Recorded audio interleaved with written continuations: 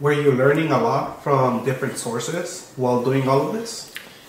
Yeah, so um, so on, I'll, I'll, start with Yahoo. So on the Yahoo side, like I said, there was obviously my team members, but as soon as I got there, I started reading textbooks. I had to pick up. I'd never done backend programming before, so I had to pick up um, SQL. I you know grabbed a textbook. I was learning PHP for the first time. I grabbed a textbook.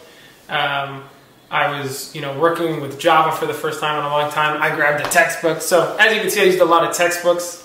Um, I personally like textbooks because they're usually incredibly thorough in comparison to most resources you'll find online. Um, and then, uh, you know, outside of that, uh, or I guess on, on the game side of things, there's less, you know, less textbooks out there. Um, so it's mostly a lot of like, you know, we were using Unity for the game.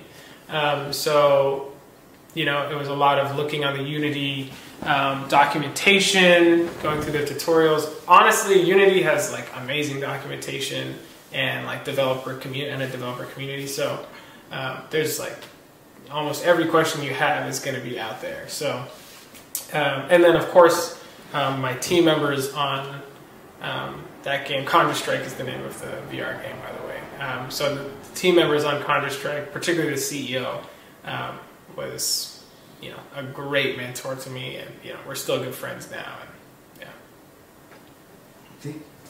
And um, before we end, do you recommend people who want to break into the gaming industry to first just get a job as an engineer first, a general engineer, and then try to break in, sort of like moonlighting?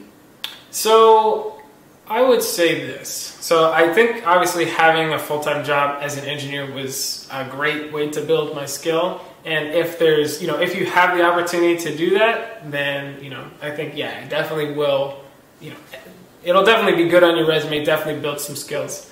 Um, my only caution to you, if that's what you're, if you want to do, if you're really passionate about games, beware that going into general tech is very it's a very comfortable place to be. So if you really want to go into gaming, then it's hard to leave tech once you're there. I had a huge amount of trouble and a huge amount of emotional, you know, struggle in, in, in terms of trying to leave the company or leave and go into game because you know the pay in the gaming industry is less, um, the hours are usually worse, um, the secure job security is worse. So if you're trying to get into the gaming industry, and you know you're coming from tech, you'll feel like this lack of you'll like feel this loss of comfortability, right? So just be aware of it. It's not like the worst thing ever. Like it's not like as a game developer you're like poor and like you know struggling, can't you know. But at the same time, it's you know it's it's definitely